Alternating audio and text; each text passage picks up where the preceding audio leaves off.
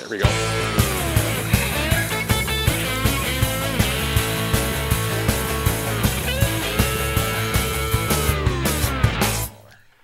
Hi, Peter Charles here, Hooked4Life Fly Fishing. And today let's look at a video on uh, Euro nymphing for smallmouth.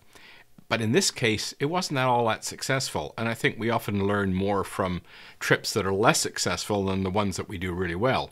We start to figure out why did we not do well. Now, part of the problem was I was using my uh, G. Loomis uh, Euro nymphing 2.8, but I was using my standard bass bug flies. Bass flies, I should say.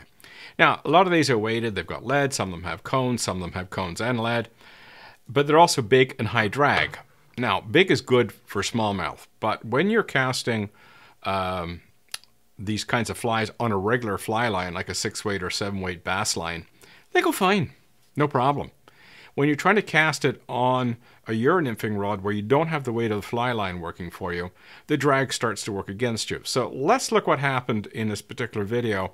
Uh, I didn't do that well. I, got, I hooked some fish and uh, I landed some fish, but it wasn't one of those great days. And there was a strong downstream wind. So let's see what was happening in that wind. Now this is slow-mo, uh, just so you can see what was going on. I started to make my upstream cast because you want the flies well upstream of you, and a strong gust of wind just blew them right back downstream again. So what I had to do is pick it up and you know put them back out again, and hopefully the wind didn't kick them back downstream. So this is what I did here. Now that time I got them out.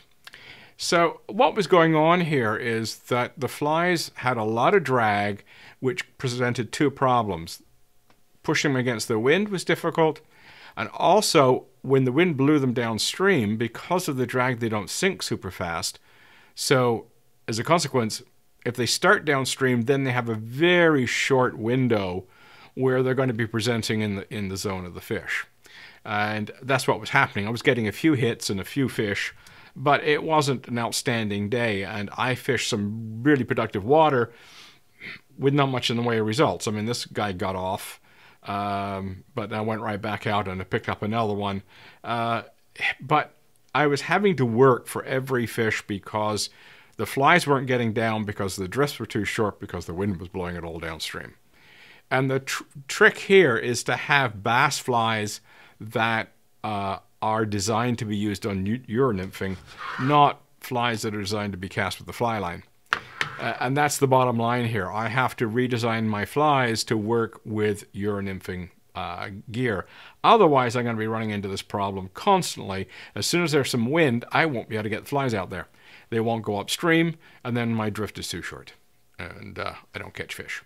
So what we're going to look at is uh, we're going to do some flies uh, uh, over the next few weeks, and we're going to go fishing again with these flies, and hopefully do an awful lot better because they will be designed to be cast on a Euro nymphing rod and not designed to be cast with a fly line, and it does make a difference.